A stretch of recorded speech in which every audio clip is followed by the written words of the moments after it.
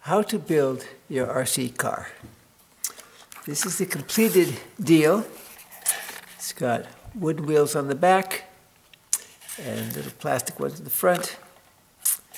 It's got a receiver here that takes information from the antenna, is powered by the battery with a switch, and then it sends four different currents out to the bat to the motors back here and makes them either go forward or backwards. So let's build a car. Now, the way you're going to build it, of course, is to start off with just the bare bones piece of cardboard. This is 8.5 by 11 inches. And uh, the first thing to do is to put your front wheels on. Now, the front wheels on this car, on this car, I made them super strong. I put double stick tape on the cardboard and then I also put double stick tape over the straw.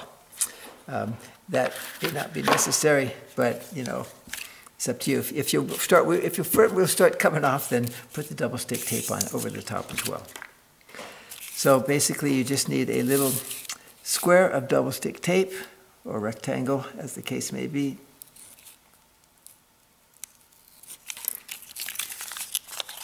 And just put it right on the front of the car. Now, depending upon where you put it, if you put it right at the front, then the wheels can hit the desk that you crashed into. So I'm going to put it back a little bit. If it's farther forward, it's more stable, it's longer for the wheelbase. But if you put it back a little bit, then you have kind of an automatic built-in bumper here. So let's put it like so on one side. And the same distance out on the other side. Now notice the way the double stick tape goes right to the edge. What you're going to do now is you're going to cut a straw that will be just like the straw here. That's like the bearing that the um, wooden axle spins in.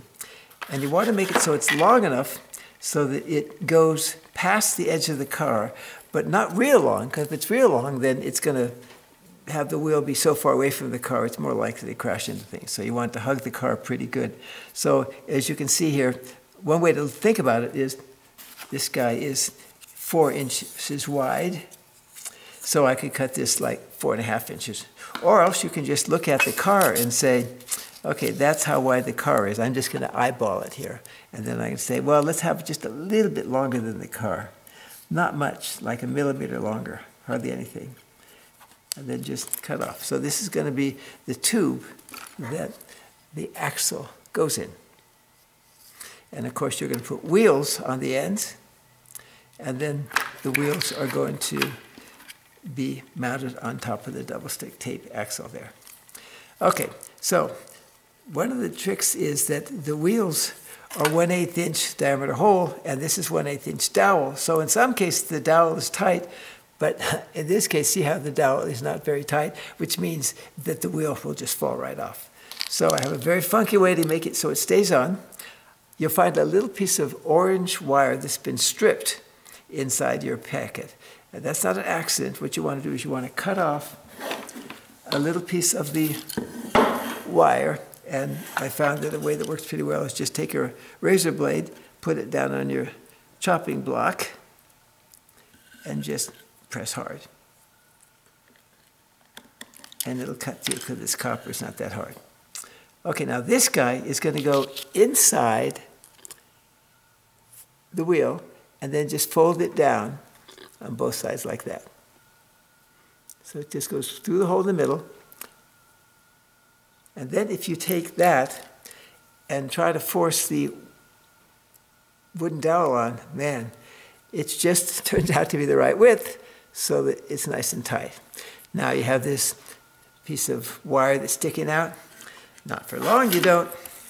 All you need to do is take it and cut off with the razor blade on both sides. Okay, so this guy I'm going to cut off against the wood. Now we have something which is on there nice and tight. So we're going to do the same thing on the other side. But before we put it on the other side, we have to put the wheel onto the car. So let's take a look closer look here. What's going on? So what I'd recommend you do is take off the double stick tape on both sides. And then very carefully put the straw so it's the same distance over each edge and is parallel to the car. Put it down carefully. And then put the stick inside. Don't press the straw down from the top. Put the stick inside and press down that way. Because if you, if you press down from the top, you're going to bend the straw. So just press down like that and get it so it's nice and bonded with the tape. Other side, put it in, press down. See, I'm going back forth a little bit so it just bonds to the tape. Now, if you decide that you want to put on more double stick tape to hold it stronger, like I did. Now, the advantage of this is you have tape bonding with tape as opposed to just a straw bonding with a tape. So that's a double, double strength, but you know, you may not need it. Depends on how rough and wild of a driver you are. Okay, now we're ready to put this guy through and to put the other side on. But before we do, notice that this stick, see how, if we have the wheel going right at the edge here, see how floppy that is? So I cut them too long on purpose, just in case you wanted to make a different shaped car or something. But if you want to have it tight, then I would say put that in so it's about where you want it to be. See, see the way it, it still has a little bit of play, but not very much. And then you're going to take that thing, I'm, I'm pressing this guy in tight here. So we have what, about an eighth of an inch there? So now I'm going to take a pencil and mark where I'm going to cut this thing off.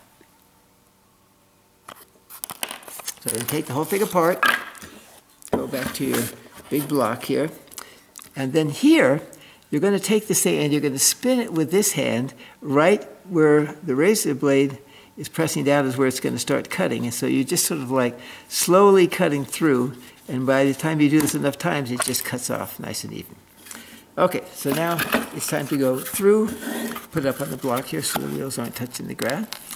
Go through the car, bust out our little wire shim that's in the, the orange wire thing. And it's the same thing we did on the other side, just going to cut off a piece of that wire.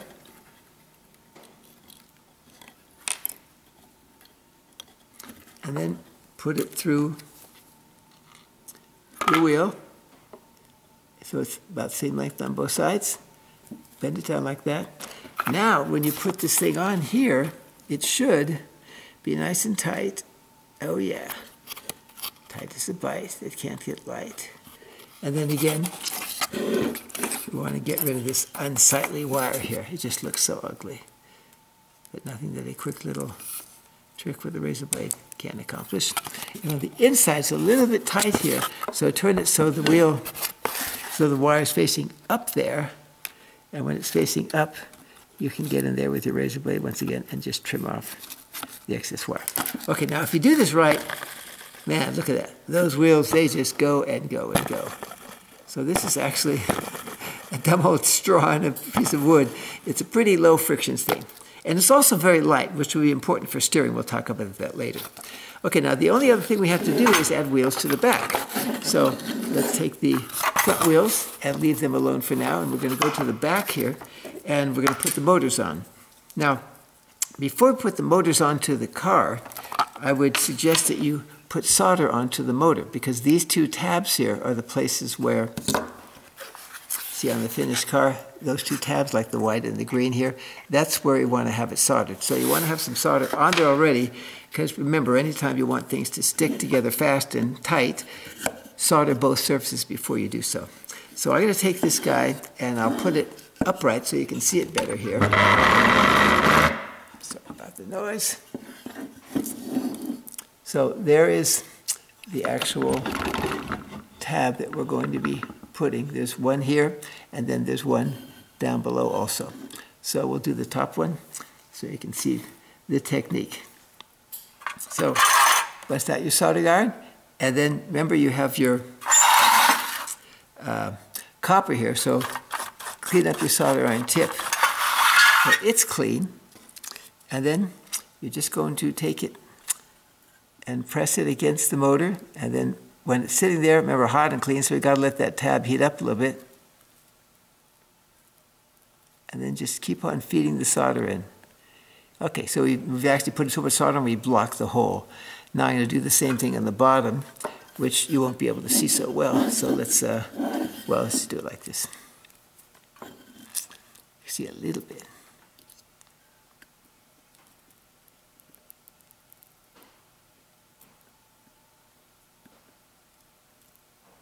Okay, so one motor down, let's take it out and put the other motor in.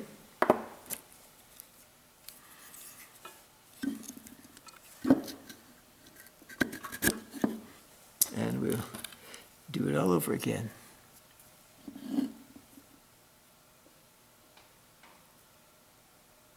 Now that hole through the tab is there so you can stick a wire through um, when you're soldering together, it makes it stronger. But uh, depending upon how I'm doing it, I don't even use that hole in the middle because if you do a good solder job on the outside, it's plenty strong. But that's what that hole is for. Okay, so now we got solder on all those guys, which means we won't have to worry about doing that when it's on the board. The board being the card board. So we can take our little jack stand here, lay this down, and then put both of the motors on the side here. Now it doesn't matter which motor goes where. They're basically identical motors. And uh, you see the way it's got this little white thing? That's kind of, these are actually out of HP DeskJet printers. They're really nice motors. And so it was for something else that uh, we're not going to use it for. So of course what you're going to end up doing is putting big wheels on there but at this point, um, you might want to put the motors on the board first, but I'm going to put wheels on. And the reason for putting wheels on now is it takes a lot of force to put the wheel on. You can't see it, but I've actually taken the edge of the gear. I'll show you what it looks like here.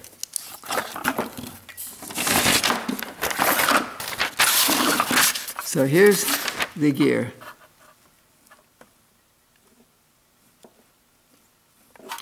and it has all the teeth in and stuff. What I did was I, I took a file, I turned the things on at high speed, and I cut off a little wedge-shaped piece there. Like we talked about wedges for simple machines. And what that means is when you try to push this on, instead of gouging into the wood, it forces the wood to open up. And so it makes it a tighter, tighter uh, connection. But it still takes a lot of force. So I'm recommending you put the wheels on first. And that means back and forth and just keep on going just back and forth until the hole in the, in the wood is deep enough that you can actually make it so that you can't even see the, drill, the gear anymore. And that's the best possible seal. Now, see the way it wobbles a little bit? Well, that's not a problem. You can just take it and if it wobbles a little bit that way, then pull it down. And now it wobbles less and you can, you know, just tune it up. Balance your wheels. So this one's done.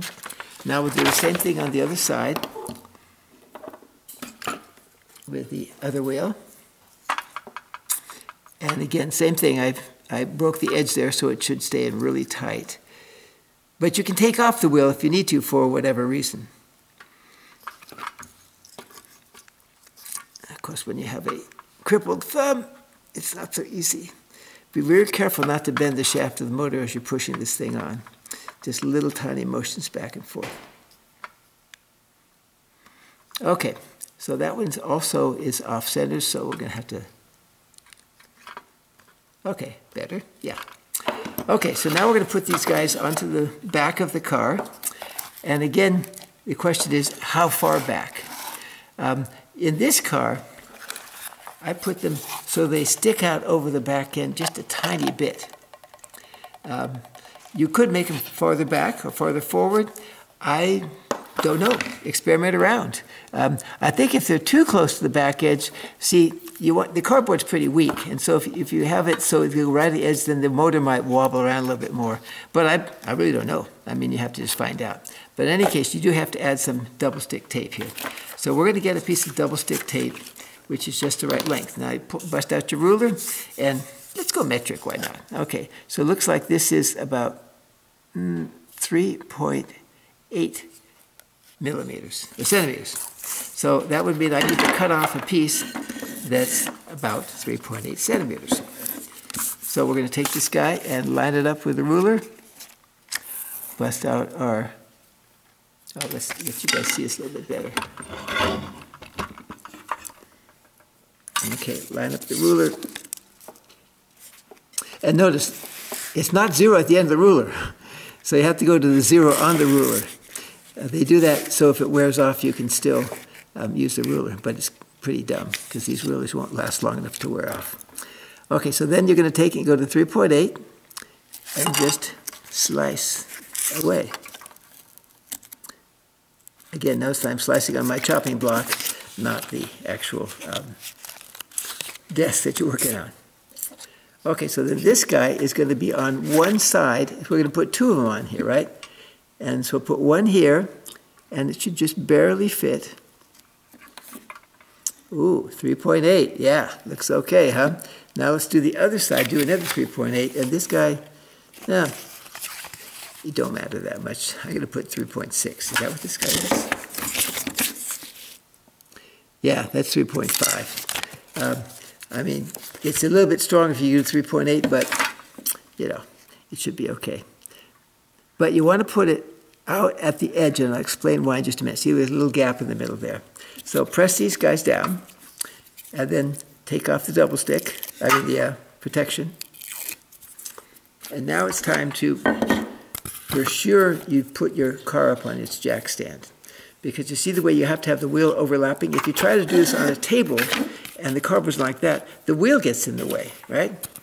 So you have to have it up on your stand there, and I'm going to put it, I don't know, about this far back, and try to eyeball it so it's going exactly forward. You know, you don't want to have it be either pointing in or pointing out. This is a pretty significant move to do right. So I'm going to go like about that. Just touch it lightly. Looks pretty good. And then just press like a mug.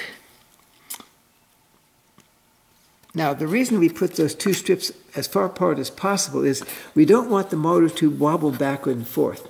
When I first built these cars, I didn't even have that big you know, foot on the bottom, that plate. And so, as you can see here, it's a, uh, well, you're about to see why I did that. See the way these motors wobble back and forth? Because there's only a single piece of double stick underneath there. I mean, it's worked okay, um, but if you have two of those guys and they're widely spread, it's like, you know, the way a wrestler will put his legs far apart so he's more stable. Well, that's what you want to have those pieces of tape on the bottom. Okay, so we've got one piece here, one motor on, and now let's do the other one. So it's the same drill as before. I'm going to put the double stick tape on. And uh, that would be 3.8 because they're all the same.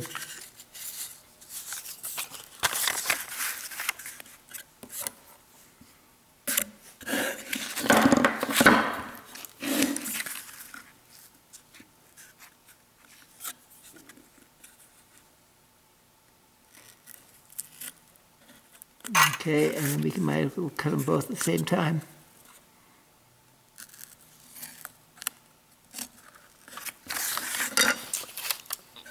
So, two strips, twice as strong.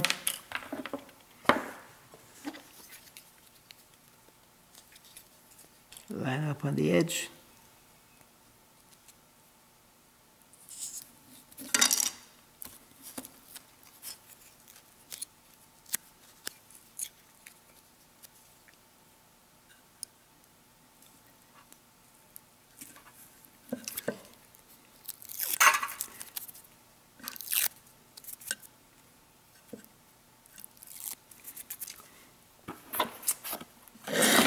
And put them down.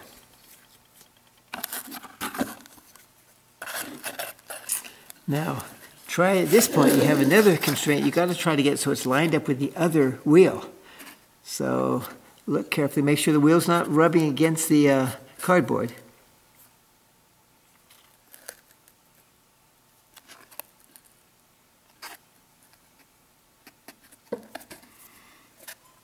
Okay, and press like a mug. Okay, so we've got the two wheels on. I did an imperfect job of putting them on, but uh, that won't matter because each wheel is independent of the other one. Okay, so the next thing is going to actually be to put on the bad, you know, the electronics. Okay, we got the receiver unit, etc. So receiver unit and the sending unit look quite different from each other. So we're going to um, take a look here at how each of them looks. This is the sending unit, and the receiver unit is just a little rectangle.